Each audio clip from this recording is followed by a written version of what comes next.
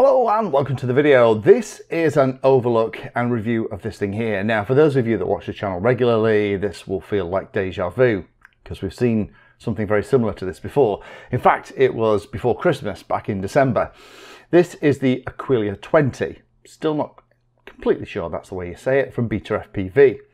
Now I did a review of the Analog One and really liked it. It is absolutely aimed at those of you that are new to this stuff and it's not really designed for anything apart from you know, kind of learning to fly. It's designed to be super easy to fly about, super stable in the hover. You can absolutely fly it outside, but because of its design, you can hover it in the dining room and get your practice in. Now, I was aware when I did that analog review in December that this was coming. And this came out uh, middle of December, actually. And the reason that I've waited to kind of do my video on it was for a couple of reasons, really. First of all, is that as usual, we get shipped these things for review. There's a mad rush on the day of release for everyone to put them out, uh, put the videos out, and it's like, you know, you get six videos on exactly the same subject on the same day. I didn't think me doing a video would add anything in that particular situation. I wanted to be able to fly it for three or four weeks before I made my video. Why? Well, the big deal with this, of course, and I talked about this uh, just before Christmas actually, is that this has the HD system inside called ArtLink, which is something that I personally haven't flown before. And that means that the goggles in the all-in-one kit have been upgraded and the little quad has as well. So this is ArtLink. It's 1080p, 60 frames a second, full HD in an all-in-one package. Again, priced incredibly aggressively. So now I've had it long enough and really flown it about to actually have some real-world experience, I thought I would make a video and kind of share my thoughts. So the bullet points for this are pretty much the same as the Aquila 20 analog kit. It's everything you need in one box. It's the HD goggles, the drone, the remote control, the batteries, the charger and everything else. And the P1 HD VTX that's inside this delivers 1080p at 60 frames a second. Latency is about 60 milliseconds, which is, those of you that like to fly incredibly quickly close to things might seem a lot, but actually for general pilots and people learning to fly, that's going to be absolutely fine. They're advertising a range of about 400 meters. Some people are getting far further than that. However, I'll talk a little bit more about how the HD FPV system performs in a moment. It is a 2S quad and it is designed to be very accessible for new pilots. So although you can kind of turn it into manual mode and have it flying a lot faster, by default, the default settings on this thing mean that it is a very, very forgiving, gentle flyer that is perfect for flying indoors in larger areas, but does mean that when you're ready, you can go outside and fly it around without any problem. 10 minute flight time on this, thanks to the batteries that you get with it. You can record via the DVR in the goggles as you would expect. And it does seem to survive crashes and bumps pretty well, which it's got to if it's designed at those that are coming into the hobby who are quite new, because crashing is part of the learning process. The thoughts on the quad, well, we'll have a closer look at each individual piece in a moment, but Again, this, like its analog sister, is a very professional looking quad, very consumer looking though. Again, it's set up super easy to fly, no external ports to get into the settings. I'll talk about that a little bit more at the end. I, custom batteries are not my favorite thing. You're stuck with the vendor's kit, however, they're not particularly expensive. And about 10 minutes of flight time from the supplied batteries is going to be easily enough to get you into trouble or for your brain to be fried if you're learning to fly and it's time to land it and take a moment to gather yourself. No beeper again, sadly. That would have been nice for when it does get lost in grass, you'll be able to find the thing. So let's go through what you actually get in the kit. And again, for those of you that watched my review of the Aquila 20 analog version, this is going to look very similar. The big differences are going to be the system in the quad and the changes to the goggles. Uh, the actual radio itself is the same radio. Uh, these are these kind of gamer style, press and hold the button to kind of turn it on. You get little indication lights, press and hold the button to turn it off. Has a little USB connection at the bottom with bind buttons and other bits and pieces. Express LRS inside. Very simple switch setup. We have two three position switches, a couple of rockers and a couple of momentaries.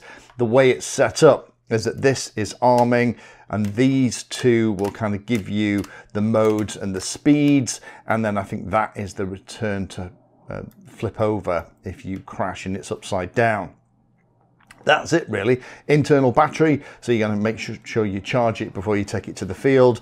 Um, in use, this is absolutely fine. The, the sticks are height adjustable, uh, but if you're used to holding any kind of game controllers, this is going to feel incredibly intuitive. And I guess for somebody like a new pilot that is coming to it, um, the more chance of that kind of experience in a boxier radio. So that's those. Next thing then is the goggles. The goggles are a little bit different from the ones that are in the analog system. Uh, the big thing is, is inside here are actually two 18650s. They were supplied with a kit and to power it on, same deal, you press and hold it. Pressing it briefly will give you the power level. There's a USB-C charging port at the side. I do like the fact that it has 18650s in here. They can be a bit hard to get to, uh, but it means that you can change them out at the field. So if you're having a day's flying and the batteries are getting low, it's no big deal to change them. There's a flying lead that goes down the side here of the goggle strap and goes into the side. So that's what that additional power thing is. Uh, the other goggles, the analog ones, uh, had this same port, but it didn't really get used for anything. The other thing you'll spot, of course, is that there are now two antennas on this particular kit. So uh, rather than the one for the analog, we have two ears rather than the one. There is a USB-C port at the side. Then we have the same controls here for back, record, the joystick for the uh, menu that you have inside. A little SD card that goes here at the top and that can be used to record onto and um, actually they fit pretty well. This one uh, does have the overhead strap, which isn't removable. It's kind of sewn into the battery pack. So you do look a little bit special wearing it, but um, actually it does kind of keep the weight off your face. Fit on these goggles, just like with the original analog ones, is okay. It's nothing really to write home about. They've obviously done quite a bit of work here with this stuff to try and make it so that there's no light leaks. Um, it took a little while when I first took mine out in the unboxing you might have noticed that these were all pushed up just the way they were. They very quickly drop back into position and it does a pretty reasonable job of stopping light leaks. Just be aware there may be a covering film on the lenses here but it's very easy to see what's going on. So those are the goggles. Last thing then is obviously the quad the quad, if you saw it side by side with the analog one, you know what? You think it was exactly the same model because it looks and flies in exactly the same way. The batteries are the same, um, the way it all attaches, all the connections are the same. So you know what? It, it kind of looks, feels and smells like the analog version. So standard stuff, you plug the battery in to kind of um, connect it, to turn it on you press the battery once and then press and hold it and that will power everything up. But obviously it's the ArtLink system in here, which is that new HD piece.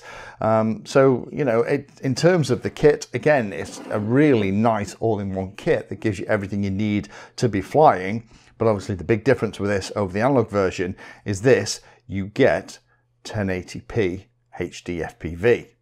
So what's it like to fly? Well, it's exactly the same in terms of the base flying experience as the analog version. It is very easy to fly, inspires tons of confidence, and by default there are lots of aids turned on. It'll just sit and hover in the air. You can kind of take your hands off the sticks and it'll just sit there. So if you get into trouble, it won't immediately smash and crash into something and destroy it and whatever it hits. Talking a little bit more about the HD FPV system. Uh, the images that I'm showing here are all from the DVR. Um, this picture is actually really good. Um, there's a little bit of smearing, a little bit of muddying of the grass and fine detail when moving at speed. But I found the breakup very impressive. I was actually flying behind trees in um, areas that I didn't realize was, I was behind the tree because I didn't experience much breakup at all. It was only when I came back, my kind of spotter was going, oh, you got quite far behind those trees there. Look. So it is very resilient. The penetration and the ability to maintain the video uh, when it's slightly more challenging conditions is pretty good. Range is easily enough for a hobby grade flyer. Uh, 400 meters is going to be edge of line of sight with this thing, which let's be honest is the legal in most places. And at 400 meters, this thing is going to be a dot.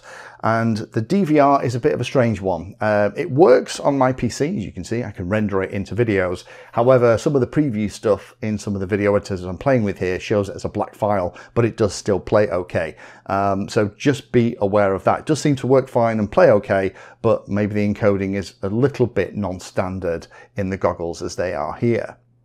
Quick comment on the goggles themselves. I used the Beta FPV goggles that came with the kits um, on the analog version and also this. I think they have quite a bit of light leakage. They don't fit particularly well is my only criticism with this. It would be great if Beta FPV brought out different foam that was more designed for Western faces that had kind of better recesses around things like the nose and other pieces in a way that fitted a little bit easier. Some of my friends really like the fit. For me, it almost feels like it's drooping down on my face to the point where I can actually get it so there's minimal light leak. You can also use reading glasses with this stuff. So if you are a glasses wearer, then these will go over the top, which for those of you that do wear spectacles, I'm sure will be great news. So as I mentioned in the introduction, this is a quad that's really designed for beginners. Uh, however, the fact that Beta FPV have also released the goggles separately and the airside unit, the VTX units for the ArtLink system separately, mean that you could absolutely start with this, then as you wanted to expand the hobby, if you got bitten by the bug, then you could get additional airside units, put them in other quads, boats, cars, planes, wings, whatever it is you want, and continue to use these pieces, similar to what Caddx and Walksnail have done with things like the Protos all-in-one. Their other HD cheap system that we're going to be playing with a lot, I expect, in 2026. Again, there are a couple of things on here that I'm not a big fan of. I don't like the proprietary batteries typically. However, they are not expensive. So thank you Beta FPV for not ripping us off for that. That's great. Uh, the fact that you can't get in and change the settings, understand why, but for more experienced pilots like me, I want to go in and tweak stuff like the on-screen display layout. But you know what? I'm really not who this is aimed at. This is aimed at those of you that might have been watching videos for ages, interested in getting in the hobby, not bothered about Walksnail, but want to try HDFPV, get everything in one box, this has everything you need. The chargers in there, the batteries are in there, the quad, the goggles, everything else. All you need to do is add an SD card, pop those in the goggles, and then start your practicing. With the way that this thing flies and the way it's all set up, they did a fantastic job with the analog version. This new HD system, the ArtLink system that's in here, just takes it to a whole nother level. It's wonderful that in the hobby we now have these options and choices of different HD systems that we can buy that aren't going to cost us an arm and a leg. So if you have any questions, please pop them down below. I'm going to be keeping this kit to the side of me and maybe buy another VTX or two and try them out in the field. But uh, yeah, Beta FPV are definitely stepping up and going from a manufacturer of very little quads and bits and pieces into quite a serious contender of making all-in-one systems, particularly around HD. Thank you for watching my video. Check out the playlist and adding Painless 360 to your search terms will help you find my content. If you haven't done so already, please hit the like and subscribe button. It helps a lot. You can support the time I spend here answering questions and helping others by using the links in the video description.